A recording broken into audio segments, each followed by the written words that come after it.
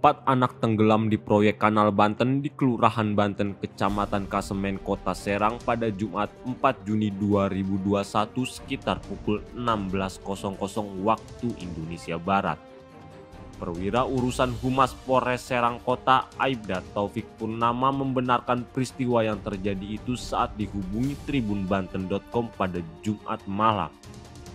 Kapolsek Kasemen AKP Ugun Tariana mengatakan pada awalnya empat anak bermain ke arah kanal yang sedang dalam proses pembangunan. Namun ada seorang anak yang tercebur.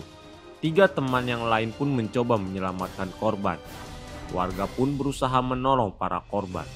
Korban pertama yang tertolong saat itu bernama Fatima Zahro yang berusia 10 tahun.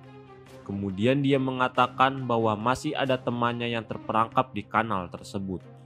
Setelah itu, warga mencari kembali di lokasi kejadian dan kemudian ditemukan tiga korban, yaitu Ayu berusia 9 tahun, Ratu alias 10 tahun, dan Alfiana 8 tahun. Ketiga korban itu kemudian langsung dibawa ke puskesmas Kasemen dan diarahkan ke RSUD Serang. Namun ketiganya tidak tertolong dan meninggal dunia.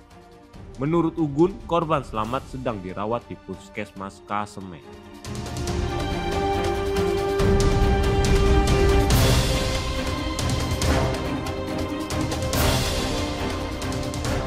Demikian berita update terkini dan nantikan update berita lainnya hanya di kanal YouTube tribunbanten.com.